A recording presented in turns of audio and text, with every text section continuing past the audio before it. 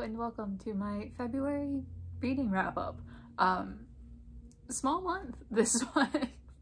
I did get like 10 books read, but as you can see, only three books for my physical TBR, which I kind of like to be my main project. So I was a little bit disappointed with my February reading, but I did start a new job, so it's kind of understandable. And also I spent most of the month reading this massive thing. so again, could have done a little more had I not got so stuck in that, but I, it was okay. Um, I'm trying to be kind to myself. Um, so I'm gonna get into everything that I read in February.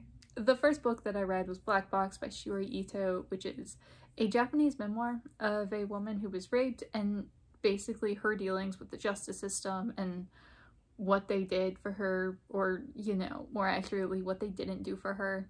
I gave this four stars. It was wonderful. I have a full review if you want to go watch that, but in summation, it's basically just about her experience and what she went through and like she eventually went through she eventually went to the media to tell her story. I mean, she was part of the media, but she went to the media to tell her story because the police, the judges, the justice system weren't doing anything and were so detrimental to her case and to what she needed. And a lot of this book does read almost like a police investigation because she had to put so much of this evidence together herself because the police did nothing basically except get in the way because the man who raped her was very powerful and well known and famous and they did nothing for her so she did all herself and this book is what she went through, what she did after the fact, her explaining her every move. Like she was so defensive. It was so painful to read because like that sort of defensiveness doesn't just like come from nothing, you know? Like you could see the way she's been judged and how that's changed the way she talks about what happened and the way she experiences her life. And it, it was very, very touching and a wonderful read. I would highly recommend. Didn't love the writing style so much. It was a little bit like stilted and weird and I don't know if that was like her writing style or had to do with the translation but this was a very wonderful four-star read that I would highly recommend.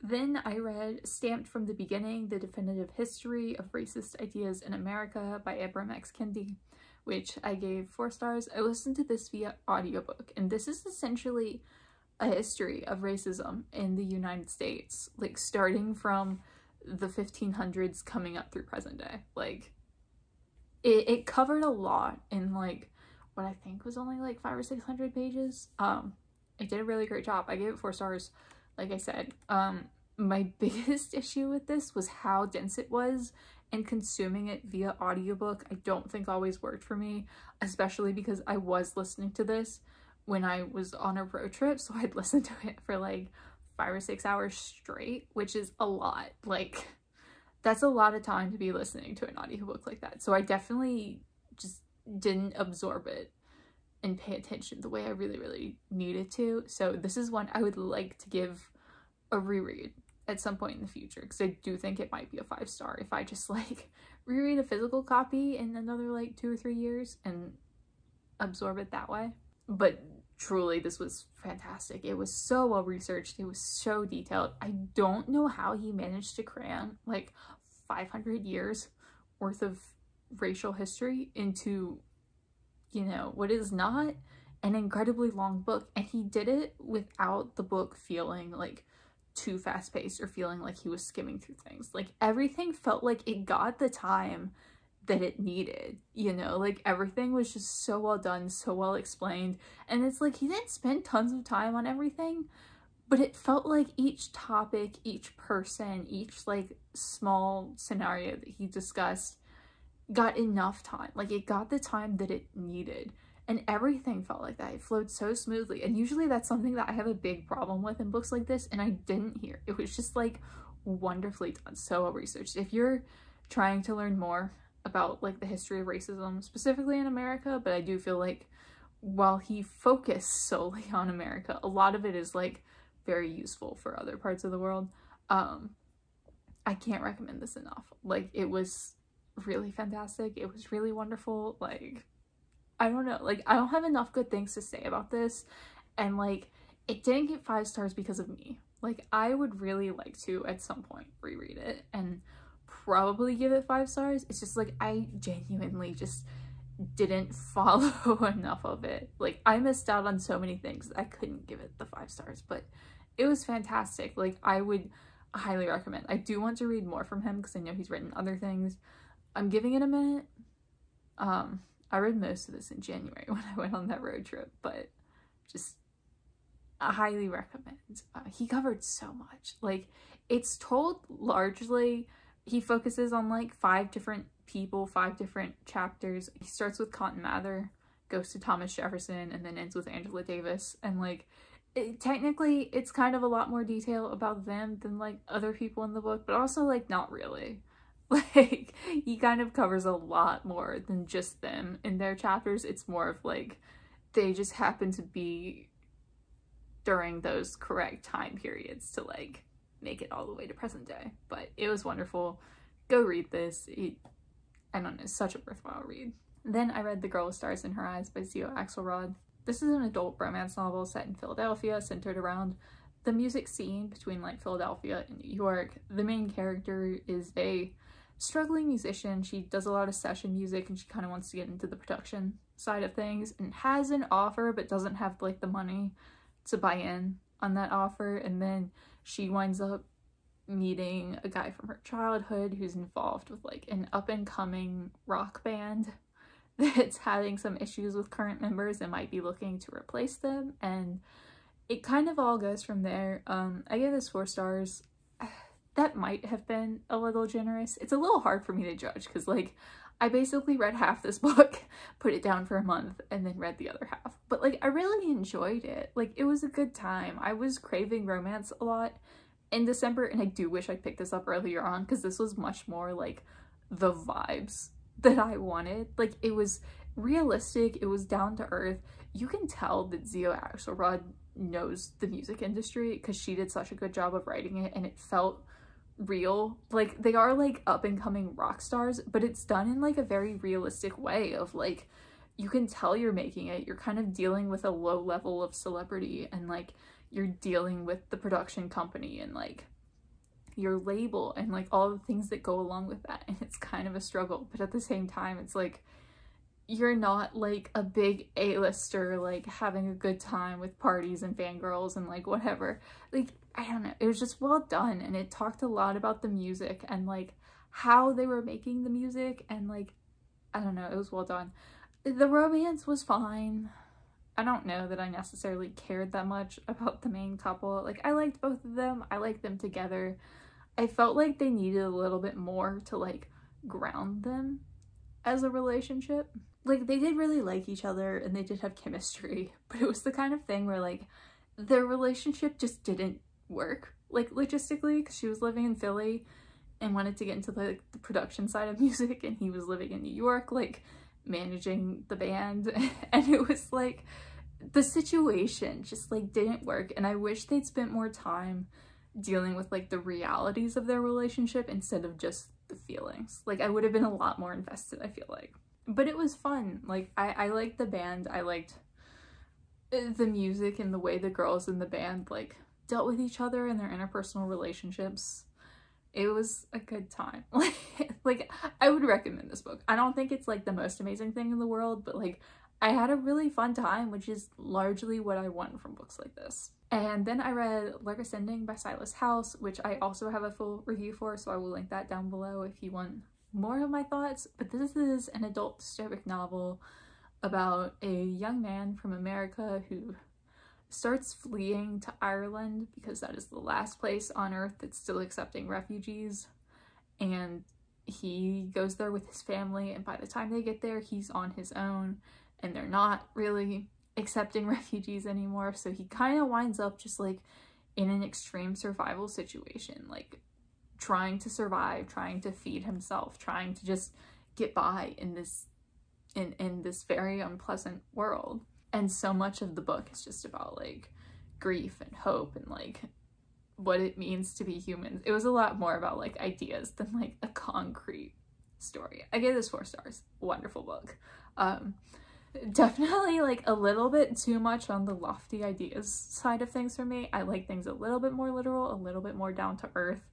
Silas House has called this a meditation on grief, and it's just like, it, that's kind of what it is. Like, it was wonderfully done. Um, just like a little bit too much of that for my taste, but it was lovely. I really like the story. I love the world that he created, and I love that this was so much of a specific character journey that you really only see the world through the main character. Like you don't get a full picture of what the world is or what's happening. You only see what the character sees and you only like understand the world through his understanding, which like I feel like with a lot of dystopians it's about the society. So you like are privy to a lot of the details of it. And in this it's just like you're only getting like that very very limited scope and it was still so well developed that it was fantastic and it was just like the characters were great. I do wish there'd been like a little bit more.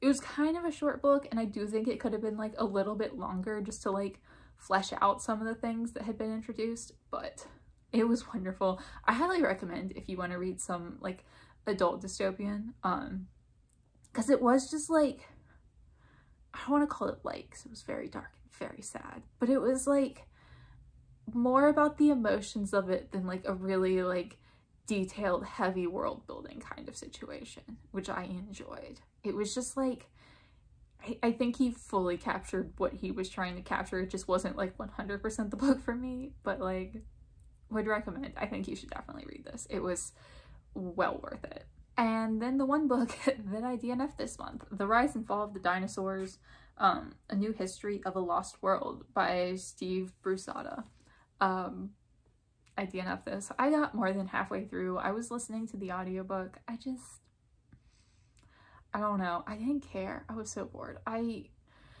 I don't know. I was 55% of the way through and considering the end of audiobooks is usually like a lot of credits and like discussing the publisher or whatever, probably a little bit more than that, but I was just not paying attention. Like that's it. Like I was like, I don't know that I retained anything from this book. Like, I'm sure it's fine. If you like dinosaurs, it's probably a great read. I don't care about dinosaurs at all, but I read a lot of like nonfiction via audiobook about subjects that I don't really care about because like nine times out of 10, the book will make it very interesting for me and I will like gain a new appreciation for that topic. And this was just like, no, like I don't care. This makes me feel like I'm listening to a boring lecture in school by a professor who's just dull. I zoned out. Like the narrator's voice in this, his cadence just was so like lulled me into a daydream every time I started listening to him. Like I don't know if it's just me, but like I couldn't listen to him. Like I just I tried, I couldn't. Um I'm not gonna try to read the physical book because sometimes I do that with audiobooks that I can't like pay attention to um just because I don't care. I'm sorry. Like, I'm sure this is fine and wonderful if you are invested, but like, it, it wasn't for me. Then I listened to another audiobook, um, The Glamour of Grammar, A Guide to the Magic and Mystery of Practical English by Roy Peter Clark. Um, I give this three stars. I got through a lot of audiobooks in February because my commute is very, very long now, so I have a lot of time every day to listen to audiobooks. I don't know what to think of this book. Um, I started off really enjoying it. Like, he has this very, like, middle-aged white dad humor, which is, like, kind of grating, but also, like, kind of funny and charming in its own ways. Like, if you like that kind of thing, I liked it at first, and then it, it got to a point where I was just like, dude, just, like, shut up. um, but like I was having fun for a while and then I just kind of stopped having fun and then he became very, very grating. This is a lot about like basic grammar. So it reminded me of my intro to linguistics class because it's about like the basic grammar, but not just like the rules themselves, but like how you use them in writing and like what kind of tone they imply, like the way you use the rules in order to like convey what you mean in like you know, a writing sense, either like nonfiction or fiction, like whatever, um, which I found interesting. It was just very basic, so I'm not sure I really gained a whole lot from it. I like grammar. I'm a nerd like that. I wanted to like this more, but he was just so annoying by the end. And like, he had a whole section on pronouns, especially as they relate to gender and like the issues of today and like transgender people and non-binary people, which was like great, especially considering this book is like 13 years old. Um, but he didn't really handle it the best way. Like he was very much in favor of like singular they. He was like, obviously like this works. And it was funny because he actually used J.K. Rowling to like support that point. Again, this book is like more than a decade old. Um, that amused me. But he also shared a passage about a transgender person um, written by their child in which he, Clark, um, dead named the transgender person. And then the article he shared misgendered them for the entire article and never gendered them correctly. And it was just like, why would you do that? Like, you know, there are, there, even in 2010, like, there were many options of like, you could share, because he shared passages like throughout this to kind of like illustrate the rules. It was like, you could show, share so many passages by transgender people, you know, like, and he even mentioned a trans author, and it's like, why did you feel the need to dead name someone and share an article that misgendered them. And it was just like, why? Like, I don't know. He was trying to be supportive. This book is more than a decade old, so like, I don't know. Like, I would hope that he's learned since then. And he kind of implied in this that like he'd done things in the past and like has learned since then and like has grown as a person. So like, I hope he's grown in the past like 13 years and he probably has, but it's just like, I, I couldn't recommend this because that really did take a lot of joy out of it for me. And like, it's not fun when you're just listening to someone being dead named and misgendered. And like, that was a choice that he so easily could have not done. And I don't know. Um, but yeah, the book, like, apart from that, wasn't like terrible, but it also just it got boring and annoying at a point and he kind of got boring and annoying at a point so I, I don't know that I would recommend this. There are probably better and more interesting and more detailed books on grammar out there. And then I read, or I finished rather, My Eternal Struggle for the Month, um, A Prayer for Owen Meany by John Irving.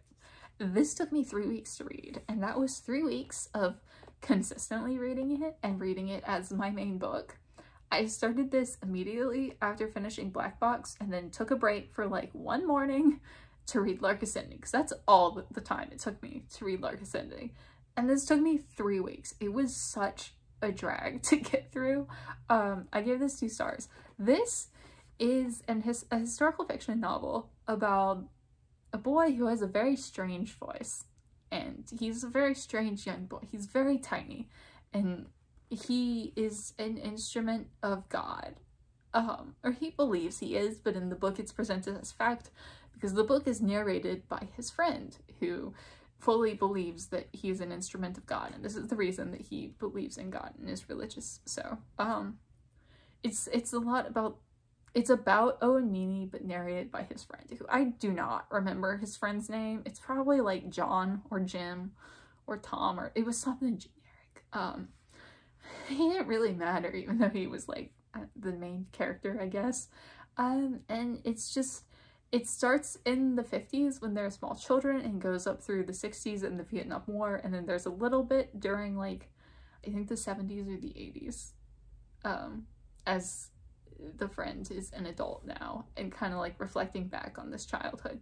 Um it's a very slow character. It's a very slow dense character study, which when I say that, I feel like I should have loved this and I just didn't. I was so bored this entire time. I did not care at all. And like, I feel so bad because like, I, every time I go to describe what the book was like, I'm like, that sounds like exactly my kind of thing. And I just didn't care. Like I, I was the opposite of invested in this. I would read like 30 pages and be like, wow, congrats me and put it down because I just didn't want to read anymore. It was painful. It was so boring. Like towards the end, it got a little better and it was like, I kind of like got the point of what was happening and things started to matter. but it took so long to get to that point. Like, I like slow, I like dense, I like character studies, but when you do that, I have to care about the characters and I have to be invested, and I wasn't here. It took so long for me to care about the characters, and like by the time I did, it was like, I've already been reading for this for two weeks. Like, that ship has sailed. like, I've moved on. Um, so yeah, two stars. And then, like, small petty thing. Owen Meany, um, all of his dialogue was in all caps like every single time he talked through the entire book and sometimes he would have like paragraphs of dialogue which was just annoying to read like i get why it was done i get that it was a choice and i get that it really doesn't matter to the story but i i did just find it annoying to read. And like that didn't make this two stars but it it certainly didn't help. Um i liked a little, a little more once it got to like kind of the characters were developing towards the end and like by the time it got to like the politics that it was discussing it got more interesting but like i like reading about the vietnam war. Like that part the final third was like pretty decent. Had this been like a 300 page book that i didn't spend three weeks slogging through it probably would have been three stars because it wasn't terrible. It was just that it took me so long that I wound up just hating it more. Um, and then it also had some like questionable gender things. It did not treat women very well. Um, the few female characters that existed here. Um, and I don't know how much of that was intentional because I do think the main character was kind of supposed to be sexist and how much of it was the fact that this was published in I think 89. So I don't know. I didn't love it. I have one more John Irving book on my shelf that I'm going to try, but not anytime soon. um, this was enough for me for a while, and this made me want to read short books because at least when I hate a short book, it's over quickly.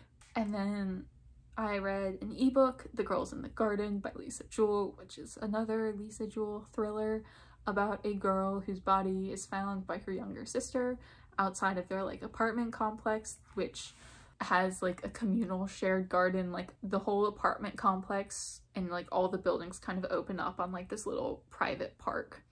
And it's kind of like this very communal space and it deals with you know them and their neighbors and like the relationships they form as they live there um and then it kind of turns into like this sexual assault and like what happened to this young teenage girl and yeah i gave it three stars it was not terrible. It was really fast, which was kind of the saving grace of this. It was a very short book, but like it was just like boring.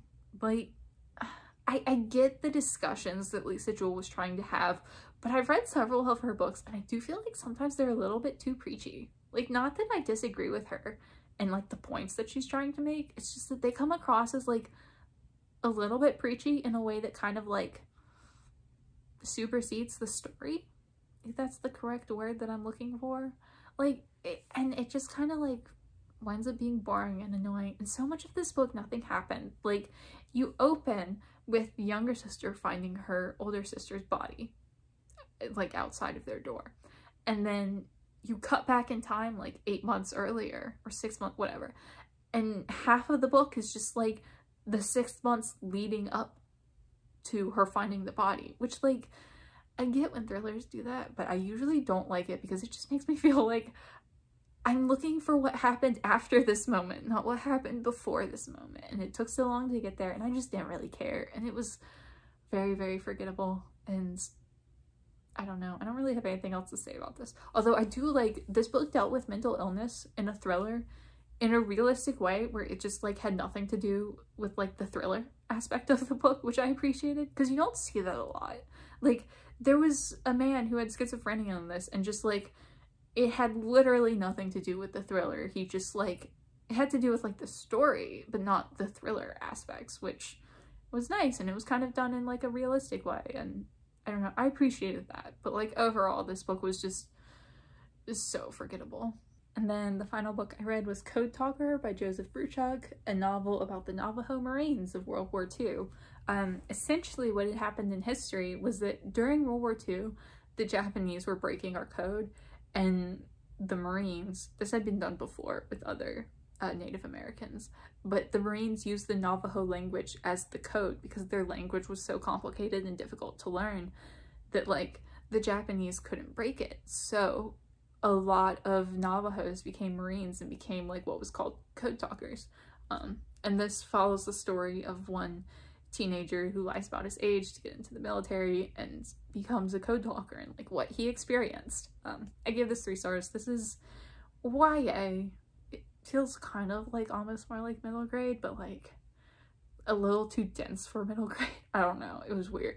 Um, the problem with this book was that Joseph Bruchac did a lot of research, like tons of research, and he wrote a book based on that research. And he said this in the author's note. I'd already figured it out by this point, but it was nice to be confirmed.